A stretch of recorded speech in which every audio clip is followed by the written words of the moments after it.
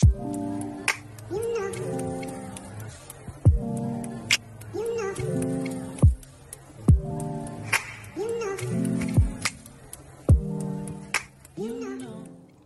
morning, ladies and gentlemen.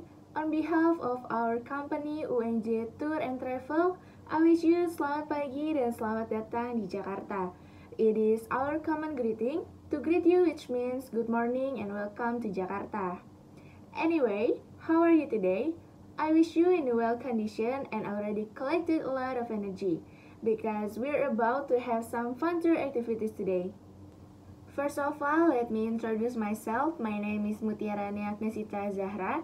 You can call me Ara for simple. I'm so glad and excited at the same time because I have this opportunity to be your tour guide today. Ladies and gentlemen, it is my pleasure to explain little information about Satria Mandala Museum. So, if you have a question or request, just raise your hand so I can answer your question and help with your request. Now, let's the tour begin. So, ladies and gentlemen, now we arrive at Satria Mandala Museum. Let me explain the history about Satria Mandala Museum.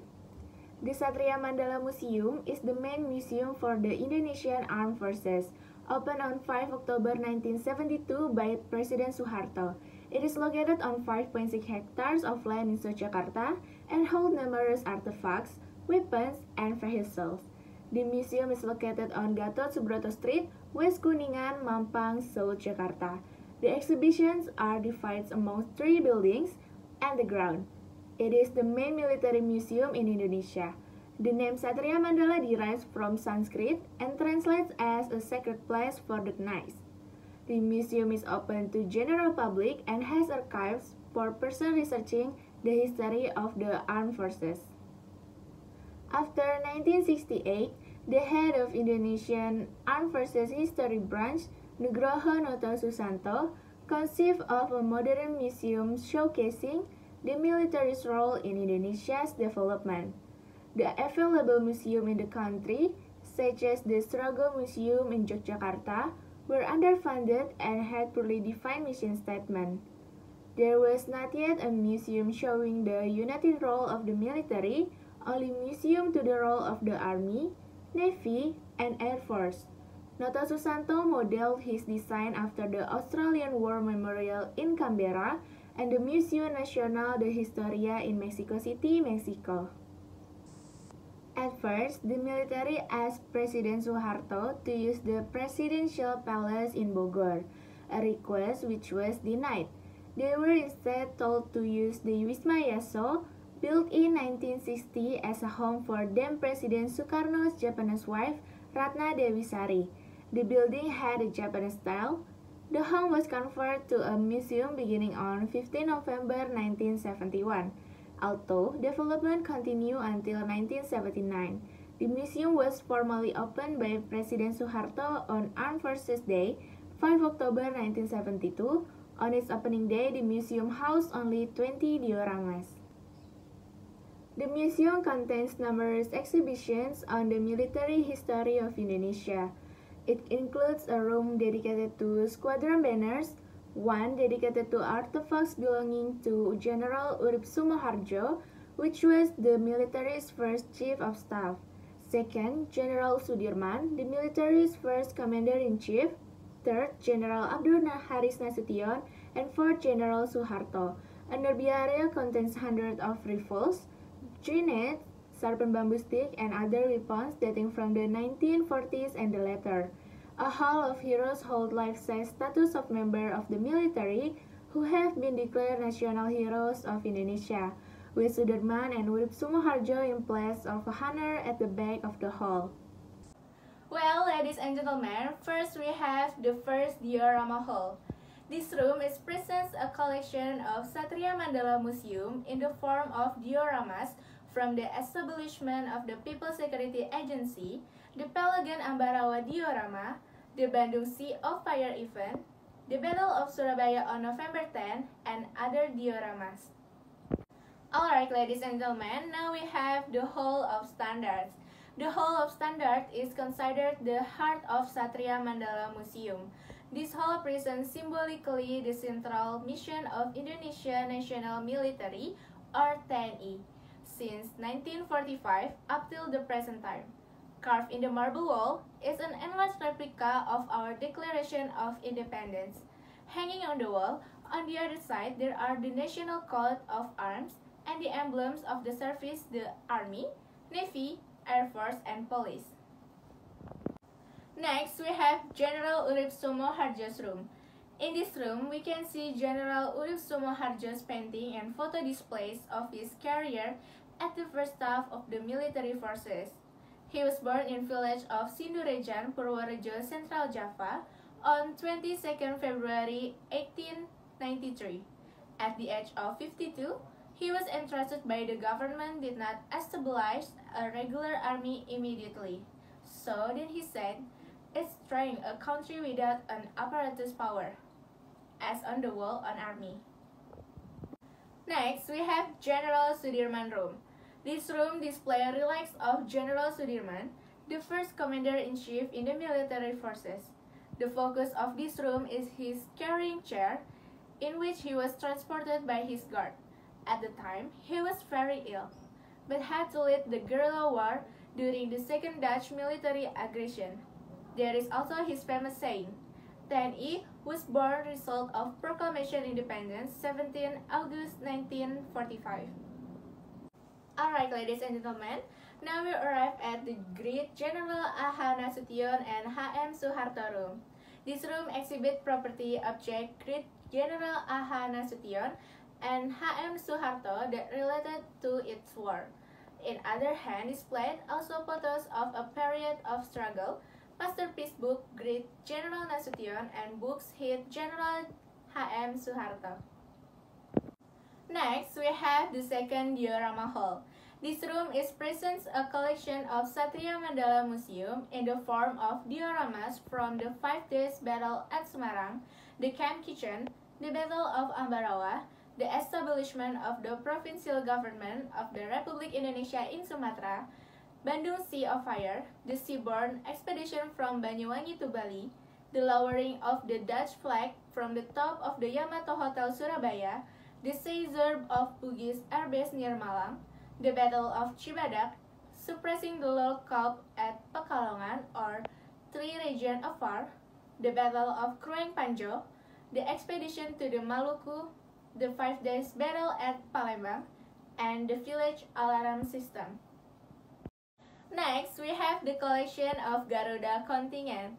The collection of Garuda contingent or Troop 10E as the peacekeeper troop since Garuda 1 until Garuda 22 on display collection have the shape of photo, uniform, and maps. There is also photo display of TNI in the area of development. Alright ladies and gentlemen, now we have the small arms rooms. Weapons displayed in the special room is divided into periods. First, we have weapons used in the periods 1945 to 1949. Consists of traditional weapons, local made weapons, capture weapons from Japanese, and capture weapons from British and Dutch. Second, the weapons used in 1950 to the present consists of weapons made in Western Allied countries, weapons made in Eastern Allied countries, weapons made in Indonesia, and capture weapons in the Free Pavilion in East Timor.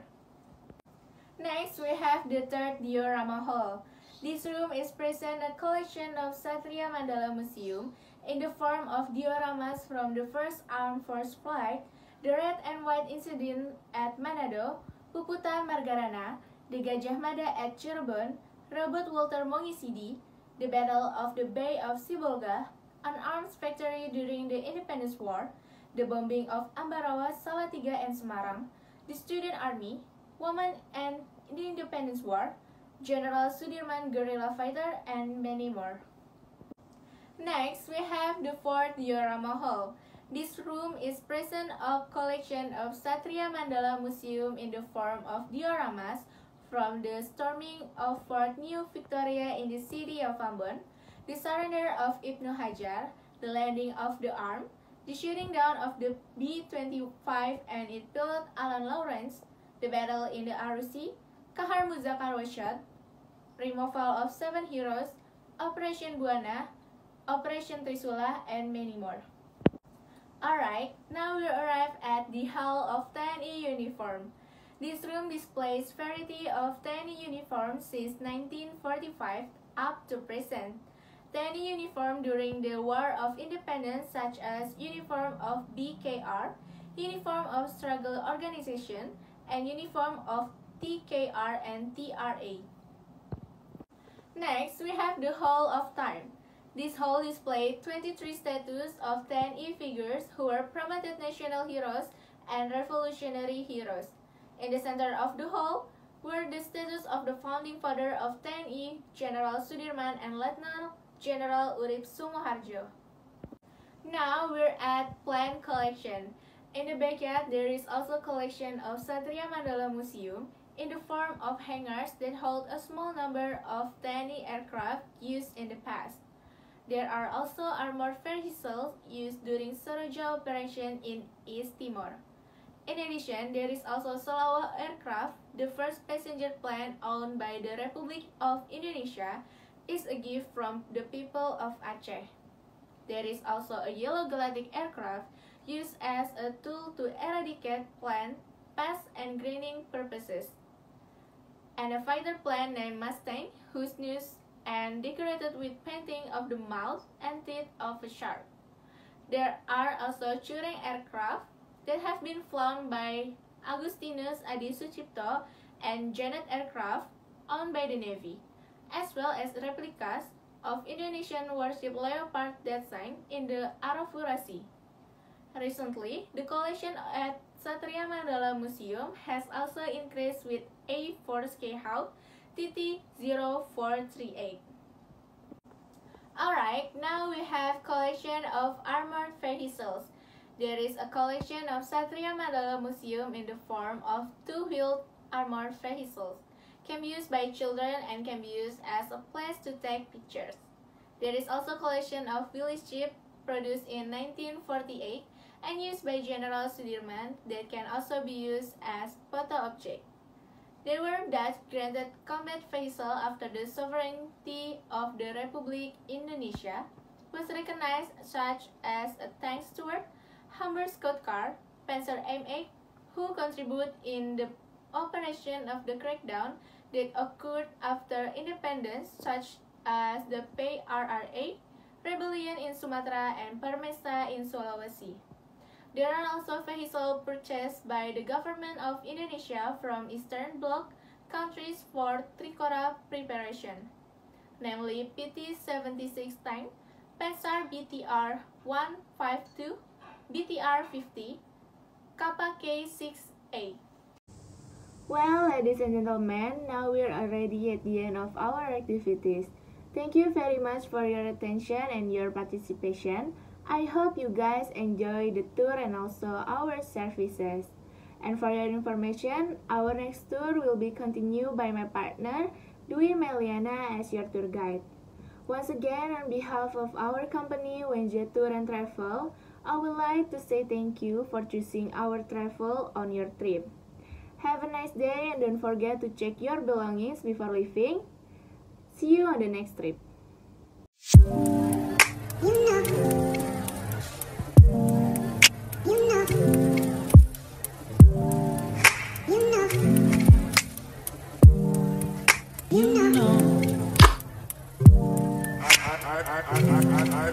I, I, I, I, I, I begin to